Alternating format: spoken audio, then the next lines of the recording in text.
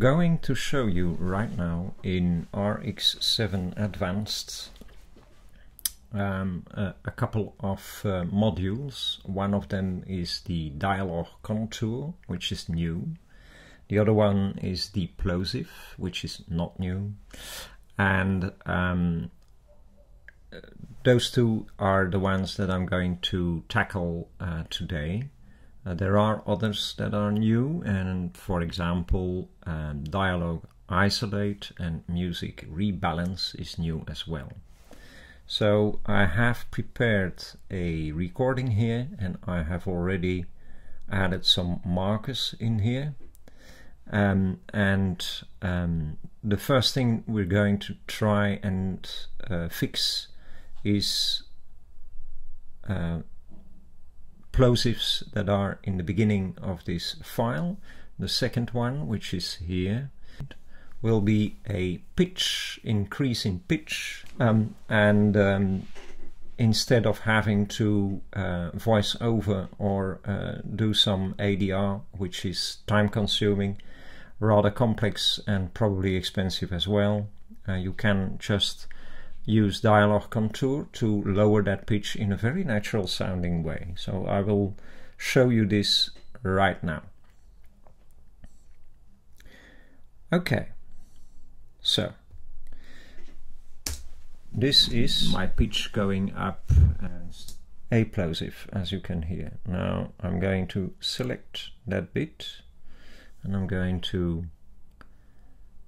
select the De-plosive uh, module and in my case I'm going to say moderate reduction so that's a sensitivity of 7 and a strength of 6 and now we're going to preview this.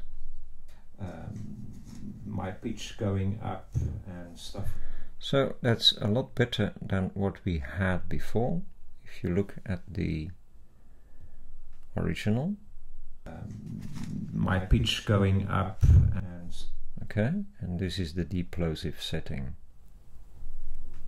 my pitch going up uh, there's still some plosive but it's less than what we had. So now when I uh, select render, it will render the uh, the uh, setting uh, for the plosives um, only on the selection that I made. I can do that for the rest of the file, but um, probably not necessary. Going up and stuff like that.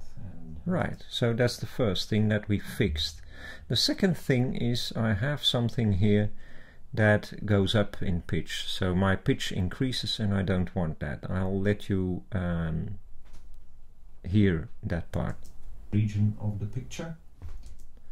So um, I'm saying region of the picture and I don't want that. I just want it to be level. So what I'm going to do now is dialog contour, select dialog contour and I'm going to reset the curve and I'm going to preview.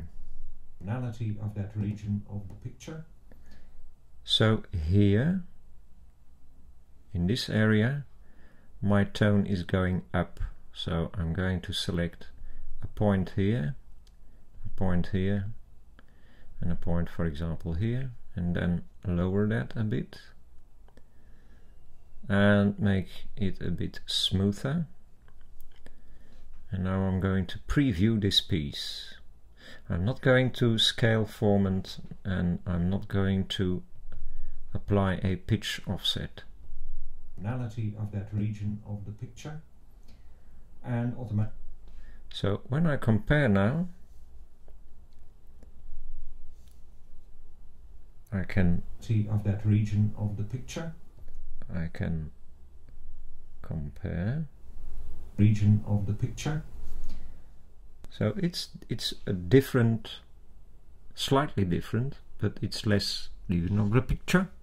So now at the end of this recording, I also created something a little more, a little bit more um, exaggerated, and that is if you and uh, and that's it. Right, so that's very exaggerated, so I don't want that. So I'm now going to preview again. Will be covered and, uh, and that's it. So what you now have here in this um, in this uh, little window, in this little frame here, is a preview of what it looks like and I can even stretch that out. And you see that I'm starting here by going upwards in pitch. So I'm going to position a point here and a point here and a point somewhere in the middle. And as it is rather exaggerated I'm going to go way down and I'm going to just smoothen that a little bit perhaps a bit more no formant scaling, no pitch offset, and now let's review it. Will be covered, and, uh, and that's it. And now I'm happy with the result, and I'm going to render. And there you go. And here I sound more certain of myself. So these are uh, two things that you can uh, do with RX 7 Advanced. Uh, there's a lot more, but uh, that's for a later presentation.